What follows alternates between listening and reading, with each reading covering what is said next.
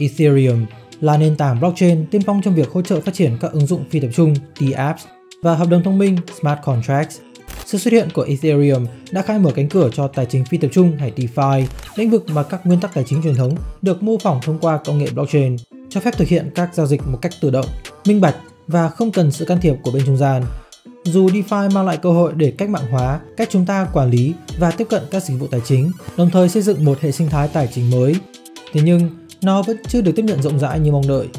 Trong video của Spider Room ngày hôm nay, chúng ta hãy cùng nhau khám phá nguyên nhân đã hạn chế sự tiếp cận này và tìm hiểu về tương lai của DeFi.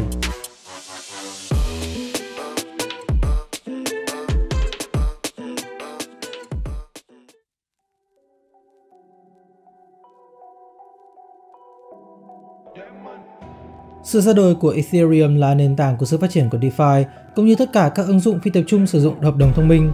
Vậy lịch sử hình thành của Ethereum và DeFi là như thế nào?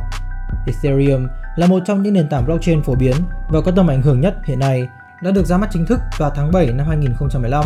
Sự ra đời của Ethereum là kết quả của một quá trình phát triển và thử nghiệm lâu dài của Vitalik Buterin và nhóm của ông vào cuối năm 2013, Vitalik Buterin đưa ra ý tưởng về một nền tảng blockchain vượt trội hơn cả Bitcoin bằng cách tích hợp các hợp đồng thông minh mang lại khả năng xây dựng ứng dụng phân tán một cách linh hoạt hơn. Để thể hiện rõ tầm nhìn của mình, Buterin đã công bố một bản white paper chi tiết về Ethereum, mô tả cách thức hoạt động và mục đích của nền tảng này như là cơ sở để phát triển các ứng dụng phi tập trung, mở rộng khả năng của công nghệ blockchain Nhằm tài trợ cho quá trình phát triển, nhóm Ethereum đã phát động một đợt gây quỹ ban đầu hay còn gọi là ICO Initial Coin Offering vào mùa hè năm 2014. Trong đợt ICO này, họ đã chào bán token Ethereum là ETH, thu hút khoảng 18 triệu đô vốn đầu tư từ cộng đồng, thể hiện sự ủng hộ mạnh mẽ đối với tiềm năng của dự án. Sau khi gây quỹ thành công, nhóm phát triển đã bắt đầu xây dựng và thử nghiệm nền tảng. Ethereum đã trải qua nhiều giai đoạn thử nghiệm trước khi được phát hành chính thức, bao gồm cả giai đoạn thử nghiệm mạng Olympic Ethereum chính thức được ra mắt vào ngày 30 tháng 7 năm 2015 với sự ra mắt của mạng lưới Frontier.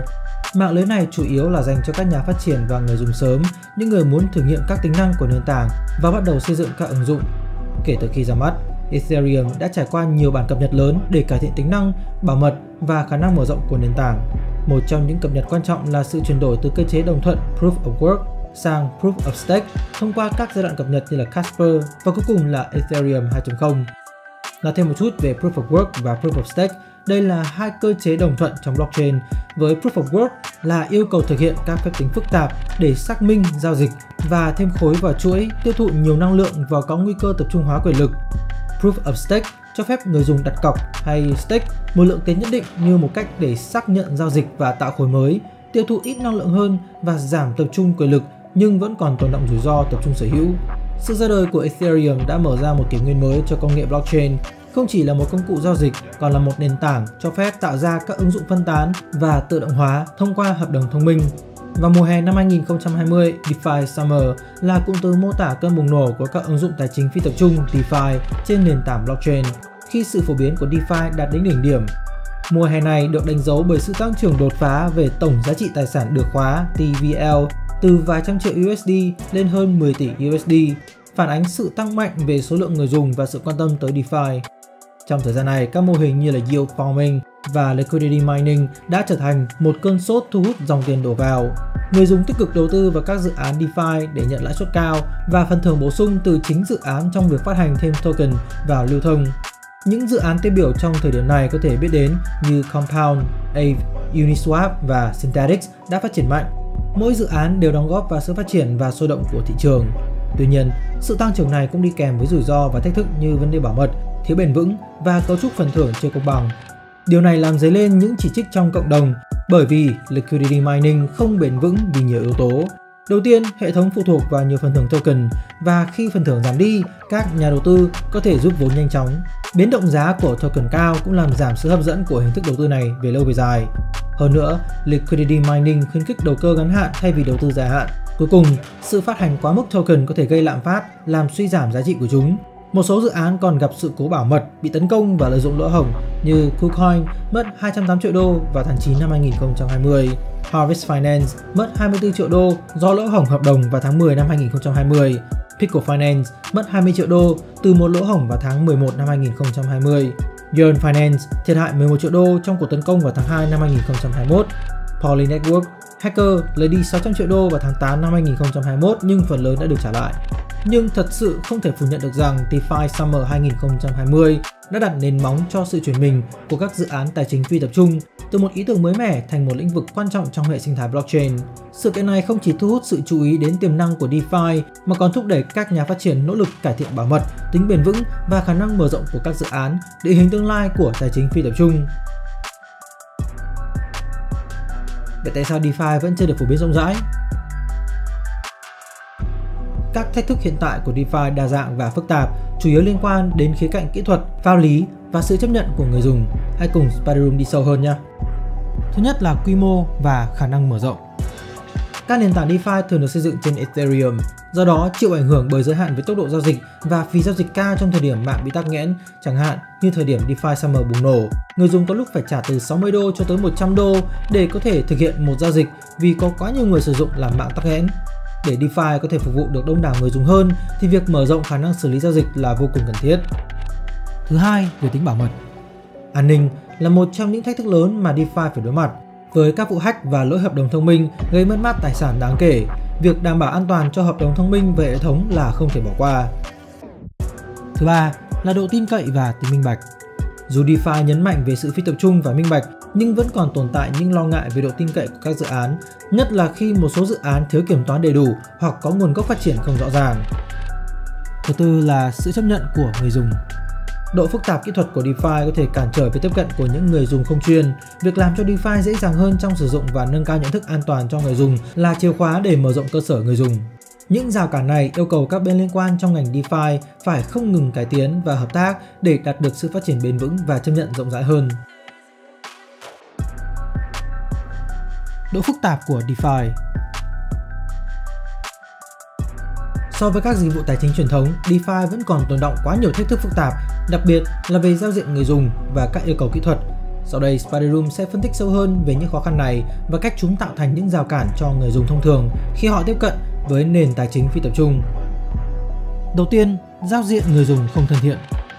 Khác các giao dịch tài chính truyền thống, DeFi yêu cầu người dùng phải hiểu biết nhiều hơn về công nghệ blockchain. Giao diện của các nền tảng DeFi thường không thân thiện với người mới bắt đầu do có nhiều thuật ngữ kỹ thuật và không gian làm việc đôi khi rối rắm. Điều này có thể làm ngại những người dùng không có kinh nghiệm kỹ thuật, khiến họ cảm thấy khó khăn trong việc thực hiện các thao tác cơ bản như giao dịch hay quản lý tài sản của mình. Thứ hai, DeFi đòi hỏi người dùng phải có một số kỹ năng kỹ thuật cụ thể mà không cần thiết trong môi trường tài chính truyền thống, ví dụ phí gas trong Ethereum và các nền tảng blockchain khác sử dụng để chạy các ứng dụng DeFi, phí ga là chi phí để thực hiện các giao dịch. Người dùng cần phải hiểu cách thức hoạt động của phí ga để tối ưu hóa chi phí giao dịch của họ. Điều này có thể khó hiểu đối với những người không quen thuộc với blockchain. Private Keys Quản lý khóa riêng Private Keys là một phần thiết yếu trong an ninh của DeFi. Người dùng cần phải biết cách bảo mật khóa riêng của mình vì mất khóa này có nghĩa là mất quyền truy cập vào tài sản. Điều này tạo thêm gánh nặng về mặt an ninh mà trong các dịch vụ tài chính truyền thống thường là do bên thứ ba đảm nhận. Cấp quyền cho giao dịch trong blockchain và các ứng dụng DeFi, cấp quyền giao dịch là một bước quan trọng trong quá trình tương tác với hợp đồng thông minh. Khi người dùng muốn thực hiện một loại giao dịch nhất định, chẳng hạn như chuyển token hoặc tương tác với một dự án DeFi, họ cần phải cho phép hợp đồng thông minh sử dụng token thay mặt họ. Điều này đòi hỏi người dùng phải thực hiện một giao dịch cấp quyền trước khi có thể thực hiện giao dịch chính. Việc cấp quyền này không chỉ tăng thêm một lớp giao dịch mà còn tạo ra rủi ro an toàn nếu không được thực hiện cẩn thận. Nếu người dùng cấp quyền quá nhiều hoặc cho các hợp đồng thông minh không đáng tin cậy, họ có thể mất quyền kiểm soát token của mình. Phí ga và tắc nghẽn mạng Phí ga trong mạng blockchain như Ethereum là chi phí để thực hiện các giao dịch hoặc tương tác với hợp đồng thông minh. Phí này được tính bằng Ether và phụ thuộc vào độ phức tạp của giao dịch và tình trạng của mạng tại thời điểm đó. Trong thời gian cao điểm, khi nhiều người dùng thực hiện giao dịch cùng một lúc, mạng có thể trở nên tắc nghẽn dẫn đến tăng phí ga. Điều này không chỉ làm tăng chi phí cho từng người dùng mà còn làm giảm tính khả thi của các giao dịch nhỏ bởi vì phí ga có thể vượt quá lợi ích kinh tế của giao dịch. Giải pháp giúp cải thiện UX trong DeFi hiện tại một trong các giải pháp tốt nhất giúp đơn giản hóa các thao tác on-chain nhất chính là ERC4337 hay còn gọi là Account Abstraction, trừu tượng hóa tài khoản. Account Abstraction là đột phá cải tiến đáng kể trải nghiệm và tạo điều kiện người dùng có cơ hội tiếp cận dễ dàng hơn với công nghệ blockchain. Dưới đây là ba tính năng chính của Account Abstraction được tối ưu hóa để nâng cao trải nghiệm người dùng. Tự động hóa xác nhận giao dịch. Tính năng này giúp các thao tác tự động hóa và tóm gọn. Người dùng không cần phải trải qua các bước ký và xác nhận, thực hiện nhiều thao tác yêu cầu hiểu biết kỹ thuật như thường lệ. Batch Transaction cho phép xử lý nhiều thao tác như là mua bán tài sản, thanh toán hoặc cập nhật hợp đồng trong một lần giao dịch, giúp tiết kiệm phí ga và giảm thời gian xử lý. Tối ưu chi phí ga, việc gửi nhiều giao dịch cùng lúc tiết kiệm phí ga đáng kể so với việc thực hiện từng giao dịch một. Thanh toán phí ga bởi bên thứ ba hay là Paymaster cung cấp khả năng cho các bên thứ ba tài trợ phí ga, giảm bớt gánh nặng tài chính cho người dùng và cho phép thanh toán phí ga bằng các loại token khác nhau, không chỉ là native token của blockchain. Những cải tiến này không chỉ làm cho blockchain và DeFi trở nên thân thiện và dễ tiếp cận hơn với người dùng thông thường, mà còn cải thiện đáng kể trải nghiệm người dùng, giúp họ tương tác với các công nghệ mới một cách thoải mái và hiệu quả. Account Abstraction với những tính năng ưu việt của mình đang dần trở thành một công cụ không thể thiếu trong thiết kế ứng dụng. Rủi ro và sự thiếu an toàn Tham gia vào không gian DeFi, Decentralized Finance mở ra nhiều cơ hội đầu tư đặc biệt nhưng cũng đi kèm với nhiều rủi ro tiềm ẩn mà người dùng cần lưu ý, ví dụ cụ thể như sau. Đầu tiên là an ninh và các cuộc tấn công. DeFi dựa trên hợp đồng thông minh, các đoạn mã được thiết kế để tự động hóa các giao dịch tài chính. Tuy nhiên, các hợp đồng này có thể có lỗi lập trình hoặc điểm yếu bảo mật, biến chúng thành mục tiêu cho hacker. Ví dụ rõ ràng là vụ hack DAO năm 2016 khi lỗ hổng bảo mật trong hợp đồng thông minh đã dẫn đến việc mất một lượng lớn Ethereum. Thứ hai là các dự án lừa đảo. Trong môi trường ít được quản lý như DeFi, các dự án lừa đảo trở nên phổ biến. Nhà đầu tư có thể bị dụ dỗ tham gia các dự án rug pull nơi những người sáng lập thu hút đầu tư rồi đột ngột rút ra khỏi dự án, làm mất tài sản của nhà đầu tư. Thứ ba là sự thiếu hụt bảo vệ người dùng. Không gian DeFi hiện nay thiếu các biện pháp bảo vệ người dùng mạnh mẽ, buộc người dùng phải tự bảo vệ mình trước các rủi ro. Không có bảo hiểm, trong DeFi không tồn tại các cơ chế bảo hiểm như là FDIC hoặc SIPC của hệ thống tài chính truyền thống, do đó mất mát do hack hoặc lừa đảo có thể không được bồi thường. Sự phức tạp của công nghệ Người dùng cần am hiểu sâu sắc về blockchain và hợp đồng thông minh để sử dụng DeFi an toàn. Thứ tư là hiểu được tầm quan trọng của tự giáo dục. Trong không gian DeFi, việc tự giáo dục vô cùng quan trọng Người dùng cần hiểu rõ cơ chế hoạt động của các sản phẩm, biết cách quản lý khóa riêng và các biện pháp an toàn cơ bản như sử dụng ví phần cứng và xác thực hai yếu tố. Và cuối cùng là phát triển công cụ an toàn hơn và quy định pháp lý. Để hỗ trợ người dùng và giảm thiểu rủi ro, cần phải phát triển các công cụ an toàn hơn như kiểm toán độc lập đối với hợp đồng thông minh cũng như nâng cao tiêu chuẩn pháp lý trong DeFi. Quy định pháp lý có thể giúp định hình các tiêu chuẩn cho các dự án, tăng cường tính minh bạch và trách nhiệm giải trình. một số giải pháp giúp cải thiện bảo mật trong DeFi. Contract Scanner Phân tích và quét các hợp đồng thông minh để phát hiện các mã độc và lỗ hổng bảo mật. Tính năng này cung cấp một lớp bảo vệ bổ sung bằng cách ngăn chặn các tương tác với các hợp đồng thông minh không an toàn, giảm thiểu nguy cơ mất mát do hợp đồng lừa đảo hoặc lỗi. Wallet Connect là một giao thức kết nối mở giữa các ứng dụng phi tập trung, DApps và ví của người dùng trên nhiều thiết bị, cung cấp kết nối an toàn mà không cần lưu trữ thông tin đăng nhập hoặc tài sản trên thiết bị, đồng thời hỗ trợ truyền thông tin một cách mã hóa, bảo vệ người dùng khỏi các nguy cơ tấn công hoặc truy cập trái phép. Kiểm toán bởi nhiều bên Việc lựa chọn các dự án blockchain được audit bởi nhiều bên giúp tăng cường độ tin cậy và bảo mật. Mỗi tổ chức audit có thể phát hiện ra các lỗ hổng khác nhau giúp cải thiện chất lượng mã và xây dựng niềm tin của người dùng. Đa dạng góc độ phân tích từ các bên audit khác nhau cũng đảm bảo rằng dự án được đánh giá một cách toàn diện, giảm thiểu rủi ro an ninh. Độ phức tạp trong việc quản lý vốn hiệu quả Quản lý vốn trong không gian tài chính phi tập trung DeFi gặp phải những thách thức đặc biệt do bản chất phi tập trung và phân mảnh của nó. Hai vấn đề chính làm ảnh hưởng đến việc quản lý vốn một cách hiệu quả trong DeFi bao gồm sự phân mảnh của tài sản và tính thanh khoản thấp. Sự phân mảnh của tài sản Trong DeFi, các loại tài sản từ stablecoin đến token của các dự án đặc thù được lưu trữ trên nhiều blockchain khác nhau, phân tán qua nhiều dự án và nền tảng. Điều này tạo nên một hệ sinh thái cực kỳ phức tạp, nơi người dùng phải điều hướng qua nhiều loại ví và giao diện, gây khó khăn và tăng rủi ro trong quá trình quản lý vốn. Tính thanh khoản thấp Thanh khoản thấp là một vấn đề nổi bật trong DeFi, nhất là đối với các dự án mới hoặc nhỏ hơn. Tính thanh khoản thấp có nghĩa là khả năng mua hoặc bán tài sản nhanh chóng bị hạn chế, thường dẫn tới trượt giá đáng kể. Điều này có thể gây trở ngại lớn trong việc sử dụng vốn một cách hiệu quả, đặc biệt trong các trường hợp cần tái cấu trúc danh mục đầu tư hoặc phản ứng với biến động thị trường một cách nhanh chóng. Những cách thức này yêu cầu những giải pháp sáng tạo và hiệu quả để cải thiện quản lý vốn trong môi trường DeFi, giúp người dùng đạt được hiệu quả tối ưu trong đầu tư và quản lý tài sản. Các dự án xây dựng cơ sở hạ tầng DeFi thân thiện đáng chú ý. Holdstation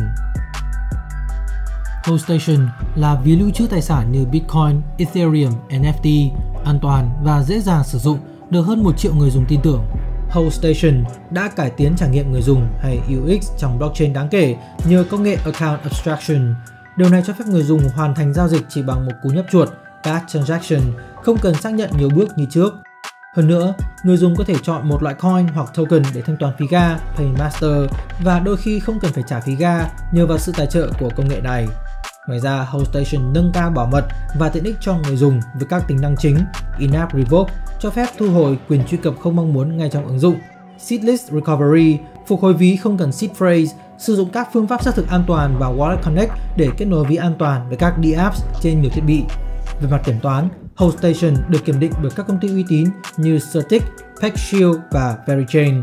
Sự hợp tác với D.Fi cũng giúp tích hợp các công cụ quét mã độc tăng cường bảo vệ người dùng trước các mối đe dọa an ninh. Holdstation còn mang đến các tính năng tiện ích như giới hạn chi tiêu cho phép người dùng thiết lập giới hạn chi tiêu hàng ngày hoặc hàng tháng để kiểm soát chi tiêu và giảm thiểu rủi ro như các hành vi chi tiêu không kiểm soát. Đăng nhập xã hội hỗ trợ đăng nhập qua các mạng xã hội như là Facebook, Google giúp quá trình truy cập vào DeFi dễ dàng và nhanh chóng, mở rộng sự chấp nhận của công nghệ blockchain. Những cải tiến này không chỉ làm giàu trải nghiệm người dùng mà còn tăng cường độ an toàn và tin cậy của môi trường DeFi. Một số dự án khác cũng đáng chú ý như Aave là một nền tảng cho vay và đi vay phi tập trung hàng đầu, nổi bật với tính năng Flash Loans. Đây là loại hình cho vay tức thời, không đòi hỏi thế chấp, cho phép người dùng tận dụng vốn trong khoảng thời gian ngắn mà không cần dùng đến tài sản đảm bảo. Tính năng này đặc biệt hữu ích trong việc tăng cường tính thanh khoản và sự linh hoạt trong sử dụng vốn.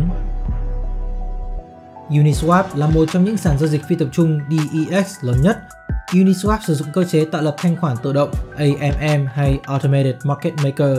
Người dùng có thể đóng góp tài sản vào một pool thanh khoản và nhận phí giao dịch như một hình thức thu nhập thụ động. Điều này không những giúp cải thiện tính thanh khoản của tài sản mà còn giảm bớt sự phân mảnh trên thị trường. Balancer cung cấp khả năng tạo các pool thanh khoản mà người dùng có thể xác định tỷ lệ phần trăm của các loại tài sản khác nhau trong pool đó. Điều này không chỉ giúp người dùng quản lý vốn một cách hiệu quả hơn mà còn giảm thiểu rủi ro thông qua đa dạng hóa tài sản. Curve Finance Chuyên về giao dịch stablecoins, Curve làm giảm sự phân mảnh bằng cách cung cấp một nền tảng tập trung vào độ sâu thanh khoản cho các loại tài sản cụ thể. Điều này giúp người dùng có thể thực hiện giao dịch lớn mà không phải chịu trượt giá nhiều, từ đó tối ưu hóa hiệu quả sử dụng vốn. Mặc dù DeFi, tài chính phi tập trung có tiềm năng lớn và đã đạt được những bước phát triển đáng kể, thế nhưng vẫn chưa thể đạt được sự tiếp cận rộng rãi. Các rào cản kỹ thuật như khả năng mở rộng, bảo mật và tương tác giữa các blockchain cùng với các thách thức phi kỹ thuật như là vấn đề pháp lý và sự chấp nhận của người dùng đang cản trở sự phát triển của DeFi. Để DeFi có thể trở nên phổ biến hơn, cần có sự cải tiến liên tục trong công nghệ, nâng cao bảo mật, cải thiện giao diện người dùng và tăng cường tính minh bạch. Đồng thời, việc tạo ra khung pháp lý rõ ràng hơn cũng là yếu tố then chốt Điều này đòi hỏi sự hợp tác chặt chẽ giữa các nhà phát triển, nhà đầu tư và cơ quan quản lý. Tuy nhiên, nhiều dự án DeFi, đặc biệt là Holdstation, với bước tiến lớn trong việc tích hợp công nghệ Account Abstraction đã và đang nỗ lực khắc phục những điểm yếu này nhằm mang lại cho người dùng trải nghiệm tốt hơn và an toàn hơn. Những cải tiến này hứa hẹn sẽ mở ra tương lai tươi sáng cho DeFi, giúp nó trở thành một phần không thể thiếu của hệ thống tài chính toàn cầu.